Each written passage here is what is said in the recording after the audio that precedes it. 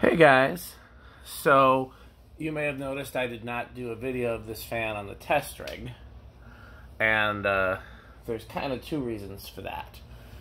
Um, I guess they're kind of the same reason. So, um, I don't. The only complete ERS I have that's not from the museum or in the museum is the one that you've seen with the uh, drum light kit that matches the sideband uh, and one of the blade arms is bent. It's got a few other issues, and uh, I think that one's really cool. But the only place I would install it in my home would be like a rec room or someplace with you know wood. Pan- it looks very dated with that light kit, and so um, like the only place in this house I would possibly put it would be the music room, but I don't like it enough to replace the Sonidaire. Um, plus, I I need to either fix or replace the bracket, etc., etc. So I didn't think I had a ERS to install, and then I realized I had this motor, and like most of the ERS motors that I've purchased, um, the switch mechanism was damaged in shipping. I, I mean, every time I buy one of these or trade one of these, I always beg the person sending it to me or FedEx or whoever's packing it. I give them detailed instructions on how to protect the switching mechanism, and uh, no one other than that one with the with the drum light kit, no one's ever done it well enough for it to survive shipping. So my thing was, okay, Metal Pete and I will fabricate a switch mechanism, and then I realized if I'm installing it in a smart home, I'm going to bypass the switch anyways. So um, that's how I realized, okay, well, you know what, I can make a complete one then, because all the ones I have except for that one have a bad switch. This one was a motor just a motor, I think. I think these are the blades and brackets off my Sunbeam, which use the same blades and brackets. And then it's a NuTone um, sloped ceiling canopy that gave me a, you know, almost as good a clearance as I'd get with the two-piece canopy that came with these. Uh, and I thought it looked pretty appropriate. It looked pretty similar to the canopy that, canopy that would have come. So, um, that's one of the reasons why I didn't do a test video of it. The other reason was that when I pulled it out and started working on it, you know, part of the pro while I had it apart, I installed the smart switch uh, in the motor housing. Um, because my thing was I already had the motor housing apart to remove the uh, the switch mechanism, and uh, I had to oil the bearings and do a couple other things.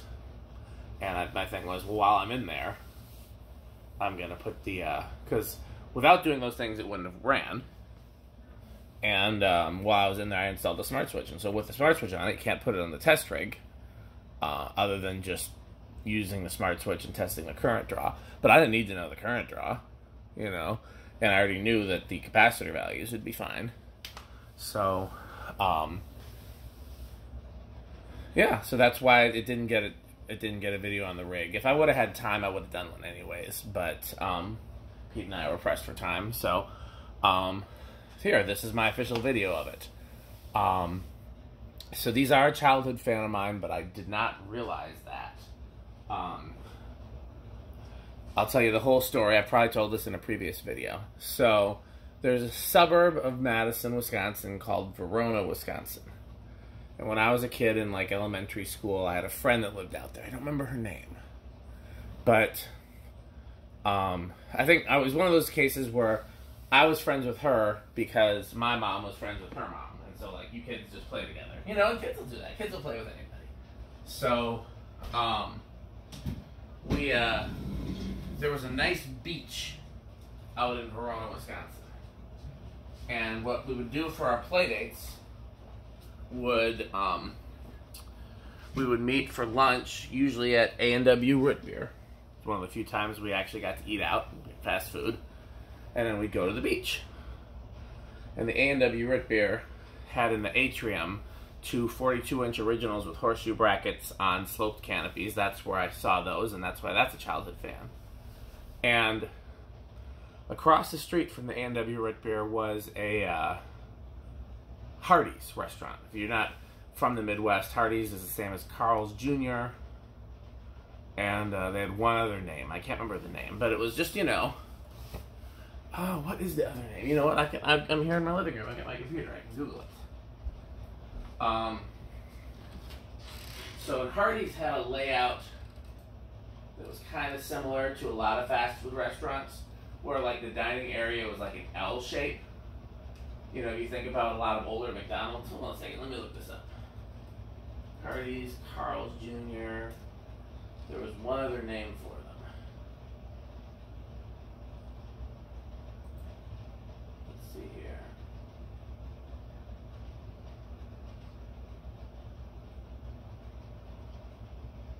Interesting, it's not telling me. Oh well, I'm not gonna waste time with the video. You get the idea. So they had, you think of the way like McDonald's and Burger King used to be, you know, and um, there would be the counter where you ordered and the kitchen behind it, and sometimes there'd be a little bit of a dining area uh, in front of where you ordered, and sometimes it'd just be waiting in line, or sometimes part of the atrium would be there. And then immediately to the right of the kitchen, if you were facing the counter, there would be a, a dining area that would go all the way to the back of the restaurant. And Hardee's layout only had one fan in most of the restaurants, and it was always adjacent to the kitchen. So it wasn't like in the center of the restaurant or anything like that. It would be, you know, um, there'd be like a little separate seating area right next to the kitchen, and then other seating areas in kind of the L shape. And the fan would only be over the L shaped seating area. I don't know why they did that, but um, most Hardee's that I'd been to as a kid that had that layout with that fan install, and none of them ever had the same fan. Uh, one of the most important childhood fans to me, one Hardee's, uh, right actually next to the hospital where um, I was at with COVID, right across the street from it. Now it's a McDonald's. It was a uh, Hardee's originally, and then it was something called a Charcy's, which I've never heard of since, and then a McDonald's. But when it was a Hardee's, it had an EnviroFan with a four light kit on it. And as a kid, I was obsessed with it. I wanted to know uh, how they got the light kit to balance on the tip of the motor because I'd seen EnviroFans without light kits, and I didn't. They didn't have a nut. They just had, you know, the motor came to a point. And uh, tried to duplicate that childhood fan with different, you know, EnviroFans and Unions and Evergoes and light kits. And I've gotten close. I think the closest one was in the uh, um, kind of hallway of the community center. There was a cane four-bladed EnviroFan with a five-light kit, and that's how it came. And it was very similar to that but that wasn't exactly it. Anyhow, um, one Hardee's had that. One Hardee's had a fan to this day that I still haven't identified. It looked similar to those Laskos with the Sanyo motor, the top mount that have like the plain vents. Usually they're black or white with cane blades. Um, it looked similar to those, but it wasn't a top mount. It was variable speed. To this day, I had the kind of the same bottom plate um, switch housing kind of reminded me of like that Toastmaster with the belt drive motor inside that uh, uh, I guess people are considering them rare now. Um, still haven't figured out what that fan was. Um, but then there was this Hardee's that was in this suburb that was across from A&W. And uh, unlike the other ones, this fan was on a really long down rod, so it hung, hung very low, close to the table, and it had no canopy. And uh, but it had a lower canopy on the motor, and so as a kid, and even as a teenager, when I went back and looked through the windows once that Hardee's was abandoned, what I always assumed was um, that they had installed the fan without the canopy, and uh, and they just turned the canopy upside down on top of the motor, and so that's what I thought I was looking at. And um, wow, I've been talking for eight minutes. It's a lot of storytelling. Um, probably because I'm I'm tired. Uh, yeah, I think I'm going to do this video over because I've just been rambling. And uh, I'll probably post this as an outtake. But um, I'm going to try again.